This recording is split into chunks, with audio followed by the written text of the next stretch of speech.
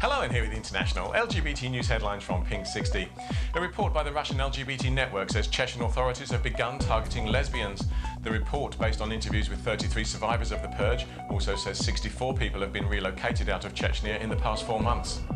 56 retired generals and admirals have added their voices to the groundswell against President Trump's call to ban transgender troops over claims of excessive healthcare costs. In a letter, they say we respectfully disagree and consider these claims to be without merit.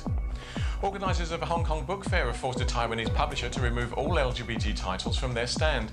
G Books say they had to remove the books on the third day of the fair, the first time they've ever faced such a ban. The shortlist for the Polari First Book Prize was announced in London this week.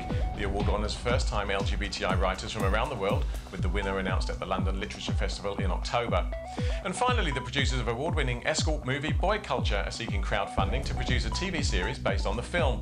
If you want to be part of the project, you can donate via Kickstarter at Boy Culture the series. Well, that's all from us for today. Join us again tomorrow for more of the latest LGBT news headlines. And you can find out more about these and other news stories by searching for hashtag Pink60 on social media.